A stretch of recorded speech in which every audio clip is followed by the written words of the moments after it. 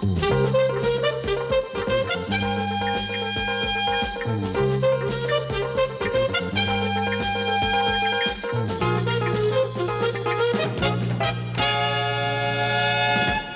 ganze Klimbim ist weg. Die Kollegen haben sich vielleicht gefreut. Ja, ja. Was Neues? Was Außerdienstliches sozusagen. Kaufvertrag? Du kennst doch den Schirmmacher. Den mit der netten Frau, die mal bei uns in der Zentrale war, als wir noch im alten Stadthaus saßen. Was ist mit dem? Er hat Aktien gekauft. Kanadische. Soll vorkommen. Kanadische aus Panama.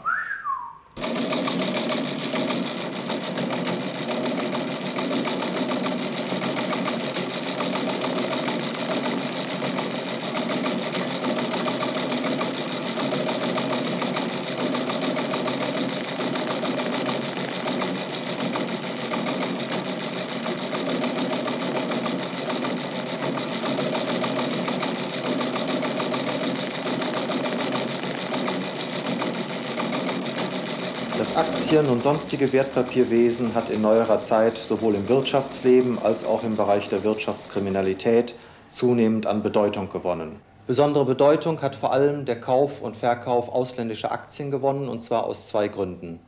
Einerseits besteht für das anlagewillige Publikum insoweit ein besonderer Anreiz zum Kauf, als hier besonders hohe Rendite versprochen werden.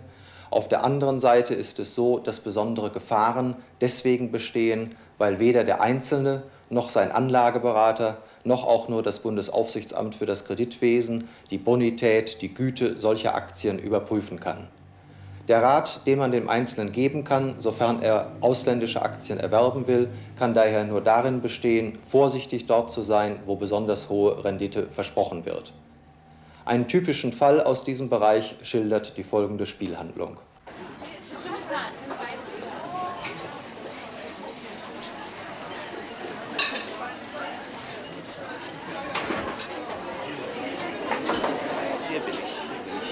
Ist eben durchgedacht. Du hast Ravioli?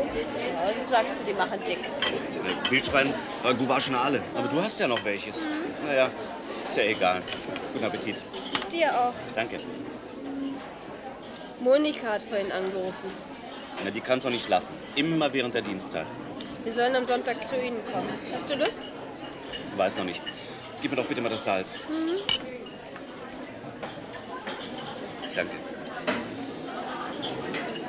Sollen wir vielleicht wieder einen neuen Teppich bewundern? Oder eine Truhe? Lass sie doch. Und irgendein Geschäft nun mal alles billiger kriegt. Ja, sollen wir dazu vielleicht noch ständig applaudieren? Dass deine Schwester diese Angeberei überhaupt mitmacht. Sie sind nun mal so. Das gibt sich auch noch. Elf Anfragen. Noch nicht überwältigend. Erst der Anfang, Max. Ich annonciere von jetzt ab pausenlos. Wie haben denn die Elf reagiert? Vorsichtig. Die Investmentpleite von Bayern hat die Leute geschockt. Beim kleinen Sparer ausländische Aktien losschlagen. Ich bin noch nicht sicher. Quatsch. Die Unruhe an der Börse ist weltweit und trotzdem wird gehandelt wie verrückt. Bei 20% Dividende springen die ran. Das Muster. Du musst einiges genau beachten. Shellbrook Financial Ottawa Corporation Limited. Klingt gut. Meine Freunde sind Profis. Die können nur Mitarbeiter gebrauchen, die clever sind. Hard Business. Das habe ich dir schon im Knast gesagt. Ich bin kein Anfänger. Financial News. Letzte New Yorker Ausgabe. Lies, was ich angestrichen habe. Shellbrook Financial Corporation Limited Ottawa. 210 Punkte. Wie kommen die denn an die Börse? Lies gründlich, damit du den Unterschied kapierst. Den Unterschied? Du sollst vergleichen. Shellbrook Financial Ottawa Corporation Limited. Shellbrook Financial Corporation Limited Ottawa. Ottawa. Mal steht's hinten mal in der Mitte. Schlaues Kind. Auf unseren Aktien gehört Ottawa zum Firmennamen. Steht also in der Mitte. Das Kleingedruckte darunter kennzeichnet unseren Firmensitz. Residenz Panama. Die anderen haben ihren Sitz in Ottawa. Kleiner Unterschied, hm? Zur Irreführung. Nein, damit du leichter verkaufen kannst. Unsere Firma sitzt in Panama. Heißt fast genauso wie eine kanadische, deren Aktien überall gehandelt werden. Ist in Panama ordnungsgemäß eingetragen mit Stammkapital und allem Klimbim und hat in Kanada sogar Grundbesitz. Guck nicht so. Ja, wenn es so ist, warum denn das Ganze durcheinander? Weil das alles zur Tarnung dient. Die hier sind gerade das Papier wert, auf dem sie gedruckt sind. Tja, gute Aktien kann jeder verkaufen. Bei faulen muss man sich schon was einfallen lassen. Kapiert? So halb und halb. Der Grundbesitz in Kanada ist ein Windei, im Unterschied zu dem, den die anderen haben. Aber wenn was auffliegt, haben meine Freunde drüben immerhin was vorzuweisen. Man muss an die Absicherung denken. Also ich muss schon sagen, Das ist was anderes als deine kleinen Wechselgeschäfte und falschen Schecks. Hm? Wie wär's noch mit Eis, Brigittchen? Ja, ich glaube, ich. Komm, draußen im Kühlschrank. Und das langsam, Brigitte, hörst du? Wir haben es vorher ein bisschen an. Du hast gut lachen. Ihr habt euch ja bisher gedrückt. Dabei bleibt's auch, lieber Schwager. Das ist aber eigentlich schade, Jürgen. Früher hat Monika von Kindern geschwärmt. Und heute schwärmt sie eben von ein bisschen Komfort. Hm, Zu 30 Prozent Nachlass. Könntet ihr auch mit einem Schwager aus der Möbelbranche. Wollen wir ja gar nicht, Jürgen. Was wir brauchen, haben wir nicht. Hm. Seid ihr wieder bei eurem Lieblingsthema? Dein Mann will uns ständig zu großen Geldausgaben verleiten. Ja, wir können das nicht leisten. Wir sind froh über jede Mark auf dem Sparkonto. Wie ihr früher auch mal. Du musst nicht sparen. Du musst das Geld anlegen. Ich habe mir mal ein paar Angebote angekreuzt. Alles hochinteressante Sachen. Neulich hast du von Festgeld geredet. Man muss was riskieren. Vorige Woche hatte ich ein längeres Gespräch mit meinem Chef. Weißt du, wie der angefangen hat? Die Geschichte ist abgedroschen. Buchmanns Zwei-Fensterladen in der Altstadt. Und was ist er heute? Das erste Haus am Platz, weil er immer wieder was riskiert. Voriges Jahr wollte ich ihm von englischen Möbeln abraten. Was tut er? Bestellt doppelt so viele, wie ich gewagt hätte. Und recht hatte er. Heute sind wir in Importmöbeln führend. Dann lass doch mal hören, wie du in den nächsten Wochen dein Vermögen verdoppeln willst. Mit Aktien zum Beispiel. Mit Aktien? Na, da sind wir ja genau beim richtigen Thema. Lass ihn doch mal reden, Rudi. Auslandsangebote. 20% Dividende. Wenden Sie sich an Ihren Anlageberater und so weiter und so weiter. 20% Dividende. Wie wäre das? Zu schön, um wahr zu sein. Noch dazu aus dem Ausland. Bitte. Also diese Sorgen, mein lieber Schirmacher, drücken mich nicht mehr. In zwei Jahren gehe ich aufs Altenteil. Aber wenn ich noch mal jung wäre, hm, kann ich bei den Zucker kriegen, bitte? Danke vielmals. Spekulieren? Als kleiner Mann? Na, ich weiß. Aber warum so ängstlich? Ein bisschen muss man im Leben riskieren. Ich bin mit meiner Frau lieber auf sicher gegangen. Bausparvertrag, Prämien sparen. Jetzt haben wir noch eine Kleinigkeit als Festgeld angelegt. Allerdings die Zinsen sind auch nicht so.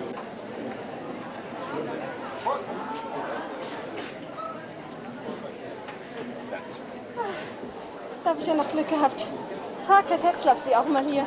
Naja, nachdem das Essen jetzt genießbar ist, Tag, Frau Schirmacher, wie geht's denn? Oh, danke, gut. War vormittags beim Zahnarzt. Hab schon unterwegs was gegessen. Na nur, Herr Tetzlaff, warum setzen Sie sich nicht? Wiedersehen. Beine vertreten. Bis später, nicht? Wieder Herr Tetzlaff.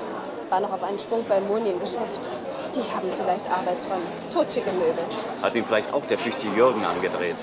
Du, die haben tatsächlich gekauft. Was gekauft? Na, die Aktien. Die ausländischen, von denen er am Sonntag erzählt hat.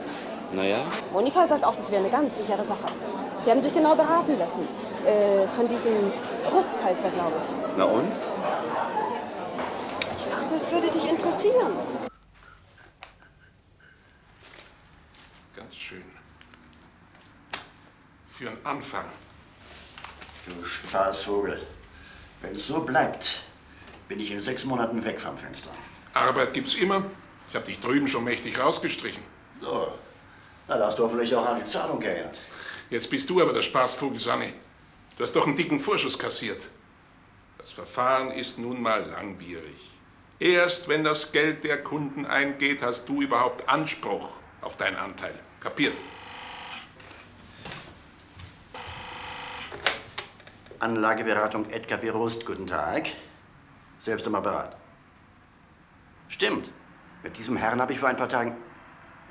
Jawohl, auch mit seiner reizenden Gattin.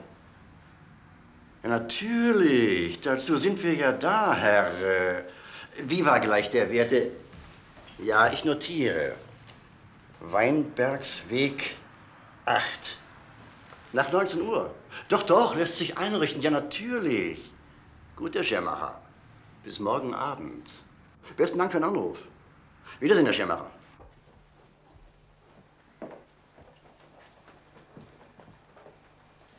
Vorsicht mit Alkohol. Ich will einen klaren Kopf behalten. Soll ich dir ein Saftgetränk machen? Es ist überhaupt ganz unverbindlich. Das habe ich doch ausdrücklich gesagt. Erst mal hören, wie der Hase läuft. Wir und Aktien. Das passt doch gar nicht. Warum nicht? Ich habe gelesen, in Japan kann man Aktien sogar im Kaufhaus kaufen.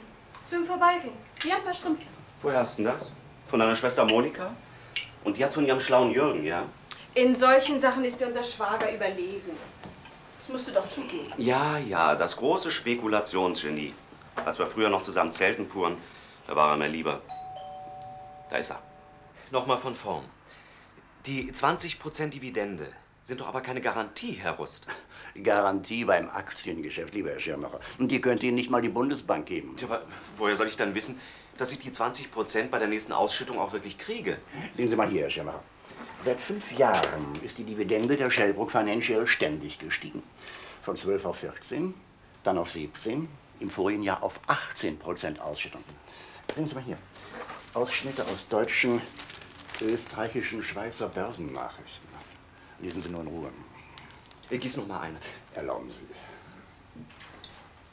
Hat es Ihnen bei meiner Schwester gefallen? Tja, wenn ich ehrlich Hier sein steht soll- etwas von bewaldetem Terrain, Herr Rust. Wälder, Herr Schirmacher, von ungeheurem Ausmaß. Davon machen Sie sich gar keine Vorstellung. Ja, wie groß ist denn überhaupt? Wald ist Holz, Herr Schirmacher. Der Wert von Naturholz steigt von Tag zu Tag. Lesen Sie die Wirtschaftsmitteilung. Sagt Jürgen auch immer. Riesige Flüsse, gnädige Frau, die man hier nicht mal dem Namen nach kennt. Ja, das bedeutet billiger Transport der abgeholzten Stämme. Das bedeutet eines Tages Elektrizität. Das Energieproblem, Herr Schirmacher. Verfolgen Sie allein den Kursanstieg der europäischen Energieträger. Sie müssen die Wirtschaftsnachrichten lesen, Herr Schirmacher, die Börsenberichte, Kurse. Ja, und dann wissen Sie, dass Kanada noch ein unerschlossenes Land ist. Dass da die Entwicklung erst anfängt mit sauberer Luft, mit unverschmutzten Seen und Flüssen. Sie fragten nach dem bewaldeten Terrain dort drüben. Ahnen Sie, was Wald bedeutet?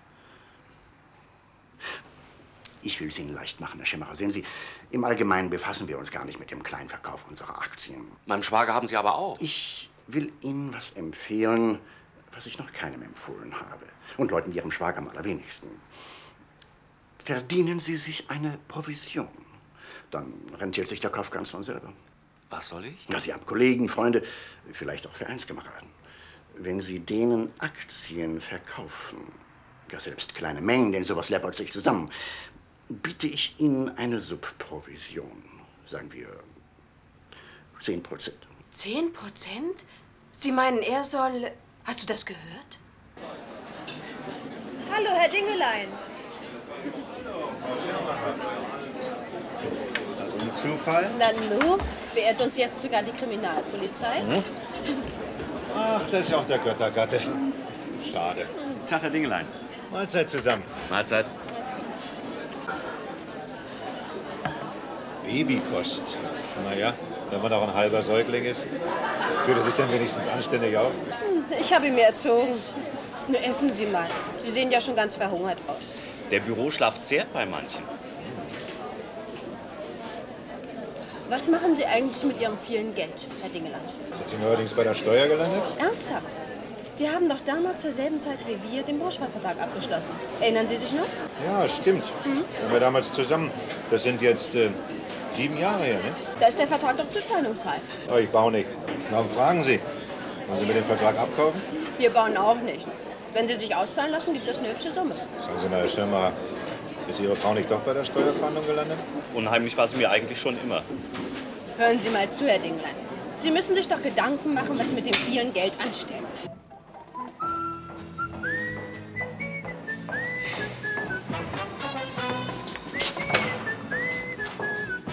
Ganze Klimbim ist weg. Die Kollegen haben sich vielleicht gefreut. Naja, Was Neues? was Außerdienstliches sozusagen. Kaufvertrag. Du kennst doch den Schirmmacher. Den mit der netten Frau, die mal bei uns in der Zentrale war, als wir noch im alten Stadthaus saßen. Was ist mit dem?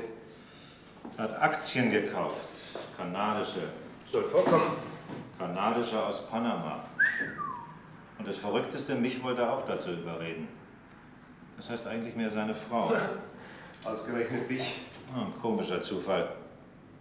Hm, möglicherweise auch ein guter. Sag mal, Moni, den hübschen Bucher habt ihr wohl in Jürgens Zimmer. Wenn die erste Dividendenzahlung eingeht, kaufen wir uns einen größeren. Mit anderen Worten, den alten habt ihr verkauft? Sehr gut verkauft. Um dafür Aktien zu kaufen? Und zwar für 5000 mehr, als wir ursprünglich vorhatten. Wenn schon, denn schon. Wir haben auch. Was? Ihr auch? Bestimmt nicht so viel wie ihr, aber uns reicht's, nicht? Wäre vielleicht ganz gut gewesen, wir hätten uns vorher miteinander abgestimmt. Abgestimmt? Ist aber auch sicher für die Zukunft noch interessant. Falls ihr weitere Aktien kaufen wollt. Von Rust meine ich. Wieso? Ganz so schlau für wie der sich hält. Ist er nämlich gar nicht. Wie kannst du das sagen? Er hätte sich doch denken müssen, dass ich auch meinem Herrn Schwager den Vorschlag mache. Welchen Vorschlag, verdammt nochmal? Kannst du nicht mal sprechen wie ein normaler Mensch? Den Vorschlag, solche Aktien in Zukunft bei mir zu kaufen. Bei dir? Wir kriegen nämlich Provision. Und die könnten wir doch teilen. Ne?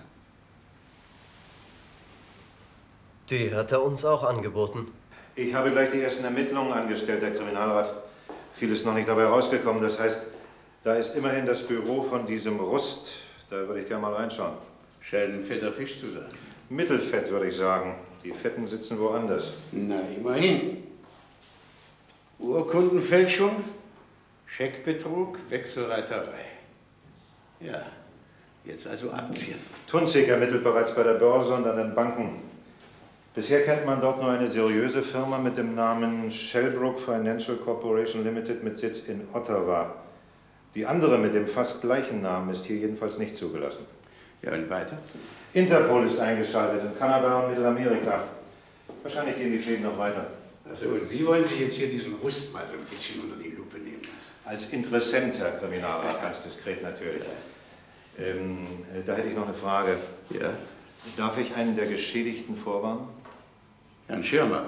Durch ihn sind wir aufmerksam gemacht worden. Na ja, er hat natürlich sein ganzes Geld verloren. Ich fürchte, das würde zu unbedachten Handlungen führen. Ja, das stimmt. Ich muss es natürlich Ihnen überlassen, Herr Dinglein. Sie sind ja schließlich kein Anfänger. Mir haben Sie gesagt, es wäre eine Ausnahme. Mir und meiner Frau. Und was muss ich jetzt von meinem Schwager hören? Ihm haben Sie auch Provision angeboten. Ein Irrtum, Herr Schirmacher, nichts weiter. Ja, schöner Irrtum. Für uns war es eine Blamage. Aber wieso? Unter Verwandten verträgt man sich doch, oder nicht? Moment bitte, Kundschaft.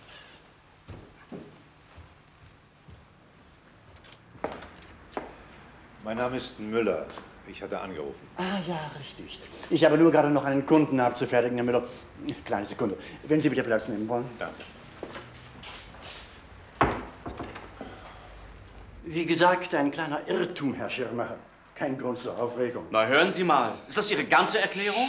Nicht so laut. Draußen ist Kundschaft.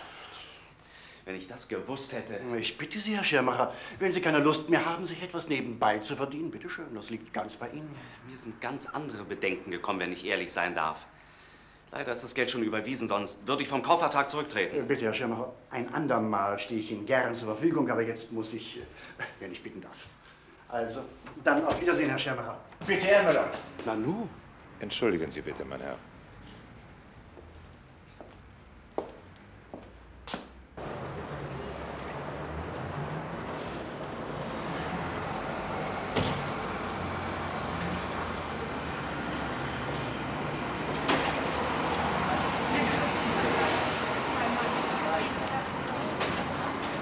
Sagen Sie mir, Herr Dingelein, was machen Sie eigentlich hier? Kommissar Zufall, wenn es den nicht gäbe.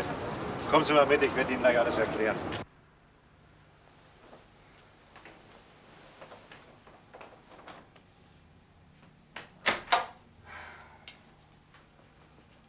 Komm doch schlafen, Rudi.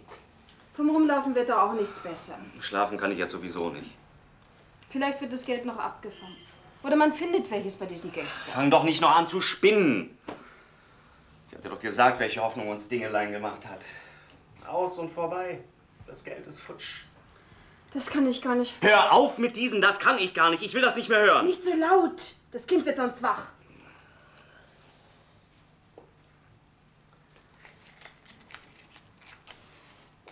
Sollten wir nicht Moni und Jürgen? Untersteh dich. Dingelein hat mir mein Ehrenwort abverlangt. Die wollen die Hintermänner fassen, verstehst du? Das ist vielleicht noch die einzigste Hoffnung. Na, das sag ich doch. Die werden bestimmt komm, versuchen. Komm, komm, komm, wart's ab.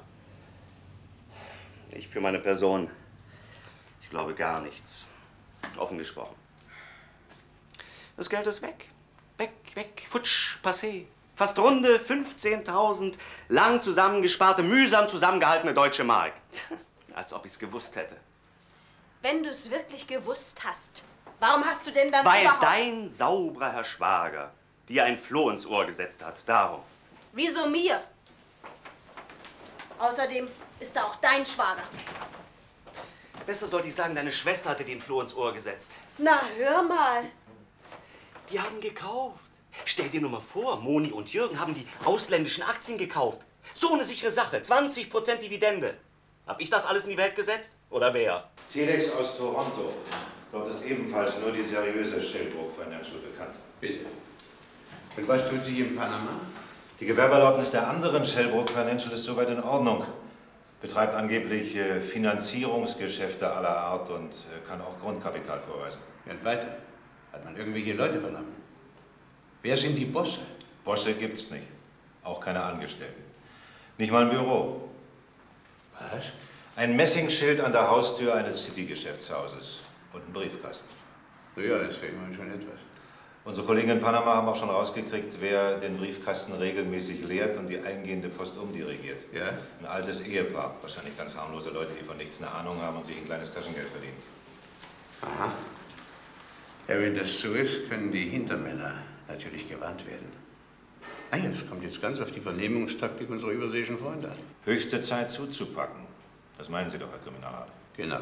Tunzig und zwei Herren vom Kommissariat 5 beschatten ihn ununterbrochen. Da ist nämlich noch einer aufgetaucht. Ja? Der Kontaktmann für Deutschland. Und der wiegt noch ein gutes Pfund schwerer als Rost. Mensch, Dingelein. Donnerwetter. Abgang, Provision, Samstag. Abrechnung bis 15. September. US-Dollar 35.200. Mann, du hast vielleicht geschäffelt. Kann man wohl sagen, bloß ausgerechnet hatte ich noch mehr, und zwar... Hat alles seine Ordnung. Die Firma zahlt auf Heller und Pfennig. Ganz am Schluss gibt es dann noch eine sogenannte... Moment.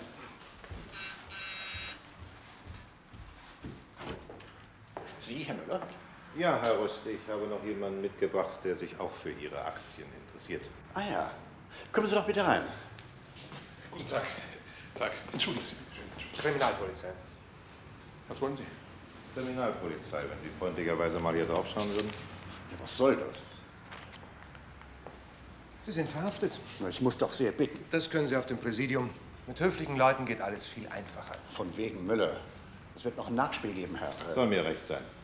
So, gehen wir. Draußen warten noch zwei Herren, die sich der Räumlichkeiten hier annehmen werden. Ich vermute, dass Sie keine umfangreiche Buchführung unterhalten, Herr Rust. Buchführung. Das fehlte noch. Sehen Sie, dann wird es noch einfacher.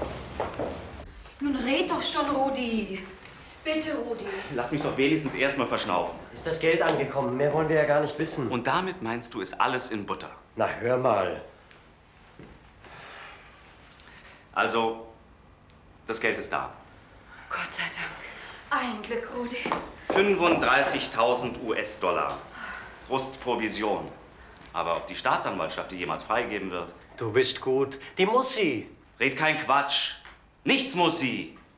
Die Geschichte ist viel zu verworren. Und außerdem muss erst drüben in Panama erstmal alles über die Bühne sein. Und ob das überhaupt jemals... Trotzdem, ich habe Hoffnung. Ich auch. Wir haben schließlich ein Anrecht. Natürlich. Auch du hast ein Anrecht. Etwa nicht? Fast 30 Leute hat Rust dir aufs Kreuz gelegt. Meint ihr, die hätten nicht alle ein Anrecht? Aber ob das überhaupt jemals berücksichtigt wird? 35.000 durch 30.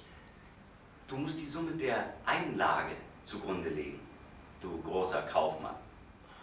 Und da sind wir wahrscheinlich nur kleine Fische.